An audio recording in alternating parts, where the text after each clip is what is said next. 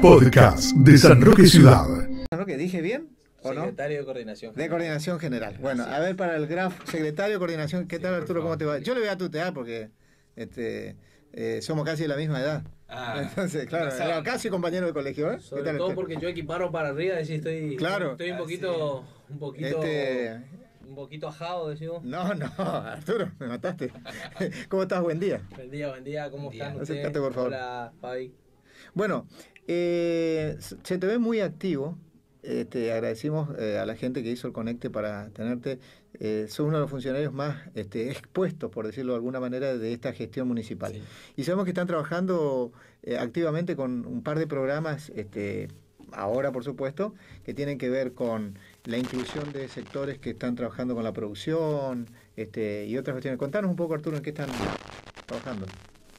Eh, es así, Dani, como vos decís, este, este mes hemos nosotros dentro de nuestra planificación declarado un poco, digamos, el mes de, de- de la producción, Ajá. digamos, el mes de la producción en materia, si se quiere, más comunicativa, digamos, vamos a mostrar un poco todo el trabajo que se viene realizando, que no es poco, en este rubro. Sí, sí. Eh, sabemos que el 9 de, de ahora, de septiembre, es el Día del, del Agricultor, así Ujú. que bueno, vamos, vamos a hacer también algunos videos alusivos a la fecha, un poco mostrando, repito, todo el trabajo que se está haciendo con el sector, que principalmente nosotros tenemos, digamos, como, como punto eh, de inflexión a, a- a los productores de Arroyo González. Ujú. Nosotros buscamos que a través de, de ese punto estratégico podamos desarrollar una matriz productiva en San Roque, que es uno de los ejes de, de gestión que tenemos, el desarrollo económico y productivo,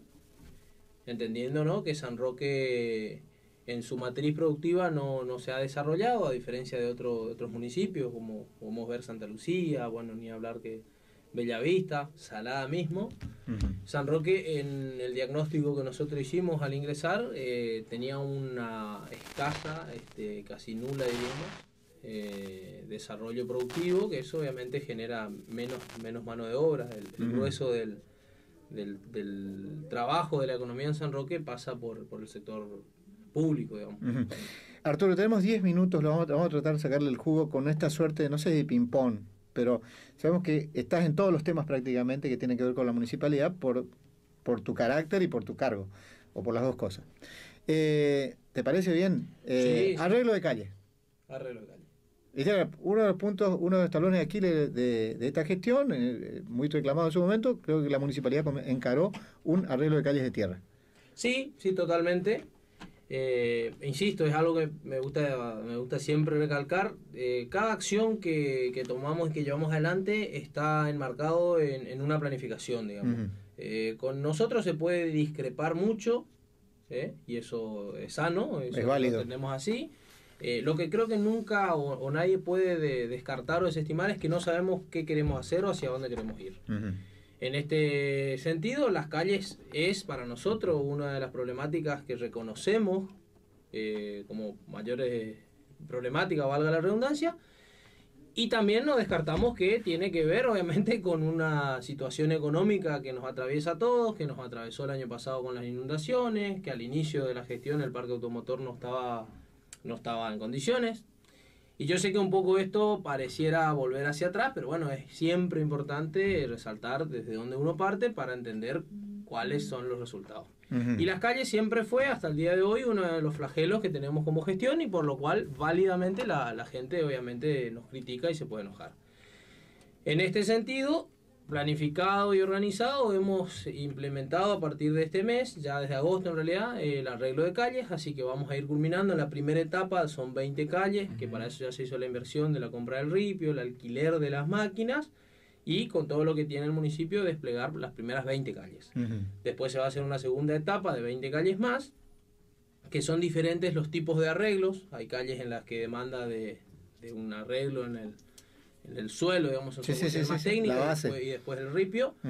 Eh, y hay otras que demanda de otro tipo de maquinaria, como motoniveladora, este, Retroexcavadora, desniveles y desagües sí. para, para que, digamos, el agua corra. Hay lugares donde se van a tener que poner tubos seguramente. Bueno, tenemos unos meses largos para el arreglo de calle, que creo es una de las principales problemáticas de nuestra gestión. Uh eh, pregunta, eh, em, con respecto a la información de ayer mediodía del hisopado, eh, eso de uno, y una aclaración, el Día del Agricultor es el 8 de septiembre. El 8 de septiembre. Le re por un día. Sí, sí. Por 24 horas. Bueno, pero ya, de 8, 7 a las 12 de la noche Sí, él sí, ya sí, estaba sí. hablando de la Ya, previa, ya. o sea, tipo, esperando. Eh, bueno, con respecto al, al comunicado del hisopado que... ¿Qué hay para decir con ¿qué hay respecto a eso? Al- Bueno, con respecto al hisopado, eh, se aplicó ayer el protocolo. Eh, hoy hablaba con, con el doctor, esto un poco lo manifesté, así que también lo puedo hacer al aire. Nosotros entendemos que, que el hisopado no cumple los requisitos de, eh, del protocolo. Es decir, el protocolo se debe activar, y esto sanitariamente es así, cuando se dan dos tipos de, de Sí, variables. Una, que la persona haya tomado contacto con alguien que venga, contacto estrecho, perdón, con alguien que venga de alguna Zona ciudad roja. de, de aislamiento comunitario, o sea, de zona roja, y al mismo tiempo que presente los síntomas necesarios. ¿Ah? Sí, sí. Y esto es importante porque si mañana Fabián tiene un mediano síntoma, el cual a su vez el- este virus es muy parecido a otros síntomas, Sí, a una gripe, Eh, con el... y hay 10 Fabianes, 20 Dani y, y- y 10 Arturo, vamos a estar todos este, pidiendo sí. Que, que se haga el hisopado y no se hace. No se hace ¿por qué? porque debe cumplir a su vez otro requisito más que es haber un nexo epidemiológico. Bueno, esto en este caso no se configura. Eh, no se configura porque esta persona, por las informaciones que se tienen, no ha tomado contacto con nadie que haya provenido de otro lugar. Pero bueno, en, en- en el miedo por ahí de, de la persona, ella ha manifestado en varias oportunidades querer hacerse el hisopado, entonces, acertadamente o no, este, las autoridades sanitarias dieron curso a eso y se ha hecho el hisopado. Mañana estaríamos este, recibiendo los resultados. No obstante, se han tomado todos los, Los recaudos. los recaudos eh, necesarios. Las personas que están en la oficina con ella esta semana no trabajaron. Y es buena la pregunta, Fabián, porque eh, este, se dicen muchas cosas, digamos, y es siempre poder, eh, bueno poder aclarar. Ujú. Principalmente porque no nos parece de buen gusto tomar como este, victimario, si se quiere, a una persona que en todo caso puede ser víctima, digamos, jugar un poco con, con la salud y con la familia de las personas que puedan llegar a ser este, contagiadas, me parece que no. Y eso me parece que también es algo que como clase dirigente tenemos que empezar a marcarlas y en su caso como, como, como, comunicadores sociales también poner en agenda porque bueno, no, no, no estamos pasando buenos momentos y la verdad que nos duele mucho que este, haya dirigentes que utilizan este tipo de situaciones como maniobras políticas que no sé si suman hoy, digamos. Nosotros No, al contrario. nos encantaría que podamos discutir desde qué se hace o de qué no se hace y no necesariamente de todo el tiempo con operaciones políticas. Está bien. Arturo, eh, volviendo un poco a, las a las otras cuestiones, eh, yo coincido en, en- en muchos de los puntos de lo que vos terminás de decir, y hoy lo decíamos incluso con el padre acá en un corte, de que eh, bien podríamos hacer de esto una cuestión hasta de confusión. Eh, hablar permanentemente de la confrontación, que en definitiva conviene y sirve hablar también, y convengamos que es bueno poner sobre la mesa para desmitificar un montón de cosas, pero no puede ser la agenda principal. La agenda principal tiene que saber en qué está, fíjate, a ver, por ejemplo, la municipalidad en este tiempo de pandemia, ¿cómo está la relación hoy con el personal municipal? Porque incluso en su momento se hablaba de las paritarias. Vos que sos el secretario coordinador sabés perfectamente.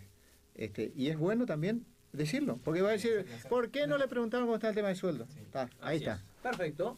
Ayer leía que, que, bueno, en realidad cuando se está en paritaria, digamos, una de las, una de las, vos conocés, digamos, una de las, no sé si Premisa. código, digamos, pero una de las premisas es que durante el proceso de paritaria, negociaciones, no se habla, no se da mayor No, no, por supuesto. Sin embargo, hablando específicamente no del, trabajo de los empleados, eh, me, me gustaría recalcar, reconocer, digamos, que la relación es muy buena, siempre con el gremio, digamos, que, que representa a los trabajadores. En los tres años que nosotros estamos, hemos llegado a muy buenos acuerdos. Sí, sí. Se han logrado este, el rescalafonamiento de, de- de los empleados, sobre todo que estaban en las escalas más bajas, siempre buscando un poco el equilibrio en el- los sueldos. Eh, el mes anterior se hizo no una paritaria, sino una reunión, digamos, más eh, de conciliación, digamos, para paliar un poco la, la crisis económica. Y se ha acordado un, plus que se ha cumplido el mes anterior. Y en este mes estamos justamente en paritaria.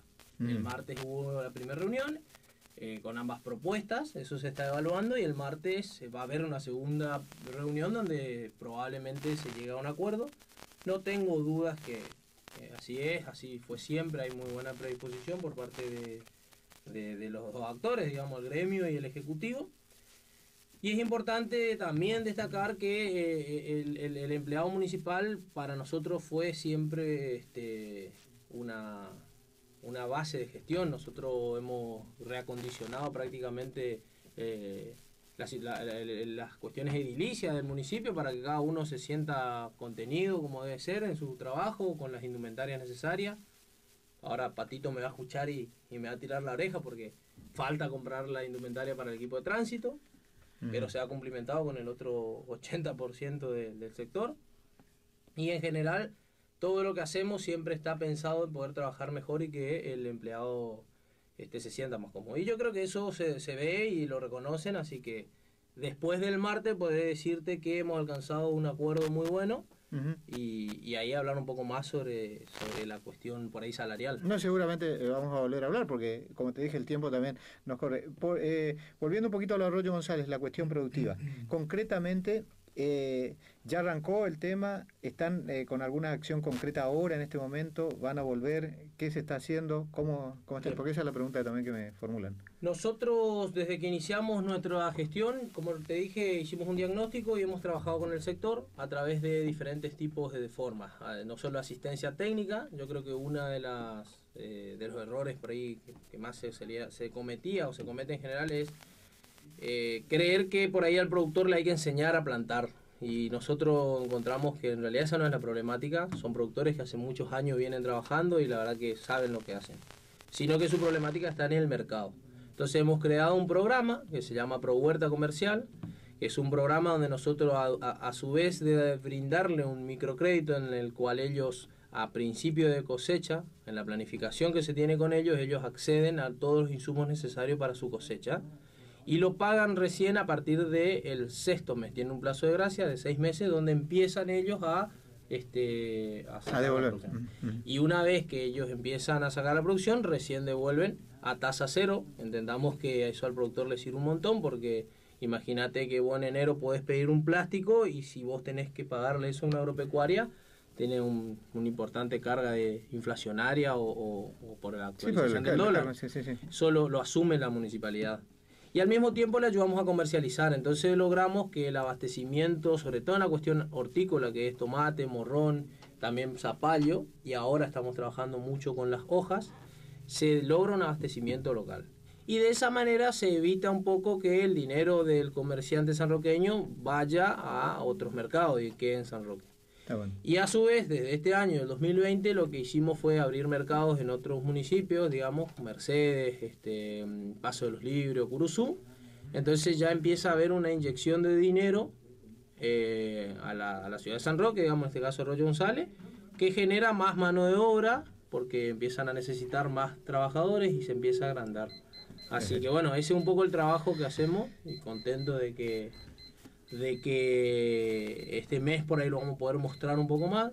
Y por último, con respecto a esta temática, eh, es muy bueno que, se entienda que todo lo que nosotros trabajamos lo hacemos a través de, políticas públicas y no desde la demagogia de, bueno, vamos a sacar una foto con el productor ahí mostrando la lechuga, digamos. Nosotros queremos que se nos reconozca, vuelvo e insisto nuevamente, cada vez que tenga la oportunidad, a partir de ahora lo voy a hacer este, poder marcar la diferenciación con algunos dirigentes que basan su este, relato en fotos y no en acciones de gobierno, que es lo que queremos que a partir de ahora discutamos con la oposición, acciones de gobierno, políticas públicas y acciones concretas. Bueno, el año que viene va a ser un año muy caliente. Nos queda tiempo para más, Arturo, te agradecemos mucho. Saludos de gente ahí por el caso de Negro Caballero, dice, te está escuchando. Agradecerte el tiempo, como siempre, la predisposición para hablar con nosotros. Seguramente en la próxima hablaremos del plan estratégico, eh, de lo que decía, si se cierra el tema del acuerdo con, los, eh, con el gremio. Y por supuesto, como agradecemos que nos contestes como las cosas que, sin red, Así es. Acá no hay nada concertado. Así que, Arturo, muchísimas gracias. Después le vamos a hacer más preguntas. Seguro, seguro. Como- para- Muchas gracias. Esperamos su invitación y bueno, eh, ojalá podamos hablar. No, cuando quiera está. cuando- la semana que viene, después de la paritaria, contar un poco más. Muchas Muchas gracias a gracias. ustedes y a disposición siempre. Bueno, nos vamos.